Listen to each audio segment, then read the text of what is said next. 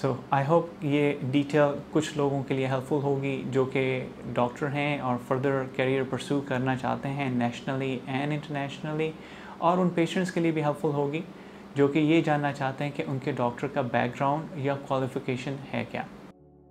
बिसमीम मेरा नाम डॉक्टर एहतशाम खालिद है। आज का जो वीडियो है वो मेरी बेसिक इंफॉर्मेशन से रिलेटेड है। ताकि जो पेशेंट्स मेरे पास आते हैं या वो लोग जो मेरे बारे में जानना चाहते हैं वो मेरे एकेडमिक या कैरियर बैकग्राउंड को जान सकें। सो so, uh, 1998 में मैंने एफएससी किया और उसके बाद मैंने निश्तर मेडिकल यूनिवर्सिटी से एमबीबीएस किया। उसके बाद मैंने एमआरसीपी का प्लान किया। लेकिन इन द मीन टाइम मैंने F C P S one करके ट्रेनिंग ज्वाइन की निश्तर हॉस्पिटल में। इसी दौरान मेरा M R C P one भी क्लियर हो गया और उसकी फर्दर ट्रेनिंग के लिए मैंने शेख जैद हॉस्पिटल लाहौर को ज्वाइन किया 2006 में और मैं 2008 तक शेख जैद हॉस्पिटल लाहौर के मेडिसिन डिपार्टमेंट में रहा। इस दौरान मेरी सिलेक्शन हो गई एस की ट्रेनिंग के लिए। In the field of neurology जो कि सी पी एस पी का स्कॉलरशिप था। And I went to Saudi Arabia King Fahad medical city जो कि गल्फ़ का सबसे बड़ा न्यूरो साइंसेज सेंटर है। वहाँ पे मैंने F C P S neurology की ट्रेनिंग की। इसी दौरान चूँकि मुझे शौक़ था फर्दर ट्रेनिंग का और मज़ीद मैं फ़ेलोशिप भी करना चाहता था।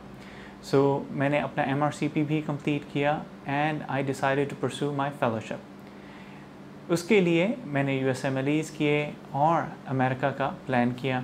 2013 में मैंने अमेरिका में रेजिडेंसी दोबारा से ज्वाइन की, क्योंकि फ़ेलोशिप वन ईयर प्लान है, लेकिन फ़ेलोशिप के अलावा रेजिडेंसी अगर आप करें दोबारा से you gain more experience and there is possibility you get in to bigger and better programs for your training so first year मैंने न्यूयॉर्क में ट्रेनिंग की लिंकन मेडिकल सेंटर में।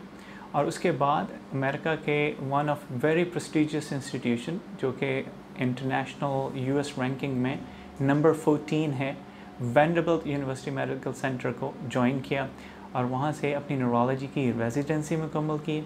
फिर उसके बाद 2017 में मैंने वहीं पे अपनी न्यूरोमस्कुलर फेलोशिप कंटिन्यू की, जो कि 2018 में कंप्लीट हुई। उसके बाद मैंने वेंडरबिल्ट यूनिवर्सिटी को ही एज क्लिनिकल इंस्ट्रक्टर ज्वाइन किया।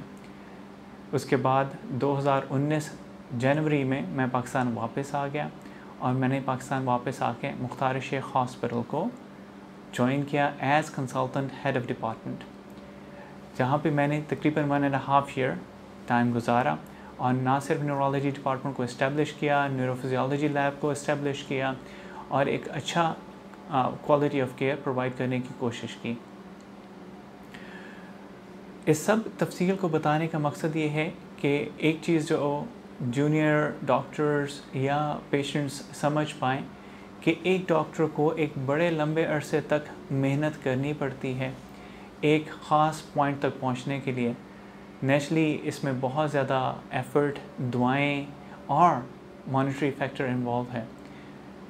सो आई होप ये डिटेल कुछ लोगों के लिए हेल्पफुल होगी जो कि डॉक्टर हैं और फर्दर करियर परसू करना चाहते हैं नेशनली एंड इंटरनेशनली और उन पेशेंट्स के लिए भी हेल्पफुल होगी जो कि ये जानना चाहते हैं कि उनके डॉक्टर का बैकग्राउंड या क्वालिफ़िकेशन है क्या।